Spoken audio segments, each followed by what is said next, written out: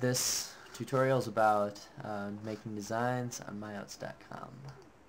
The premise for this design that I'm doing is uh, a soccer ball. I started out by using a light background. This is all outside is all colored in and doing a small outline of the geometry of the soccer ball using a pentagon and uh, hexagons around it and it getting distorted as it goes to the outside.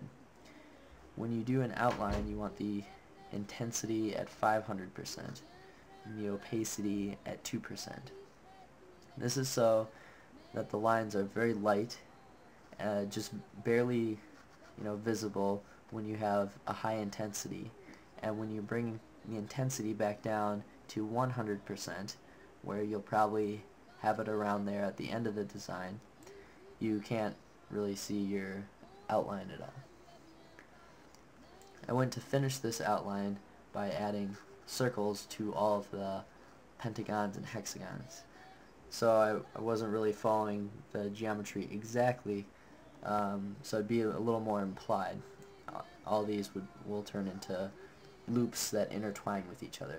Since MyOats doesn't have an eraser tool, you have to plan out uh, anything that's going to go on top or below different objects ahead of time.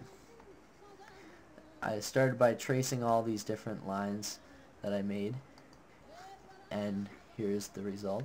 Uh, the intensity is still high so these lines are going to turn out to be much lighter and you can still see the outline. But from here you're going to start uh, making decisions about what you're going to do for shading and those types of things. So here's after I bring, brought the intensity back down to 100%. The lines got much lighter and I had to add a little to the lines so they wouldn't be too light. And I started shading from the outside in, making it dark to light. And what this does is it makes the foreground look a little too light as well. So I shaded the object very dark on the foreground and had it get lighter out towards the edge here. Now I I thought I maybe shaded a little too dark so I decided from here I'm still going to add a few more things to it to um, bring your eye uh, back back towards the center without it getting kind of mushy.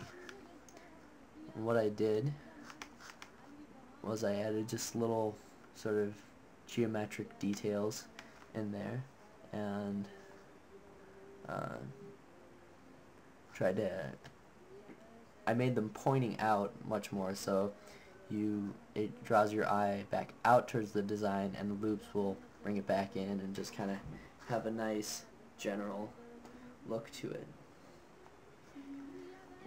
That's all for today and the next tutorial I'll do will be about um, doing multiple sides within one design.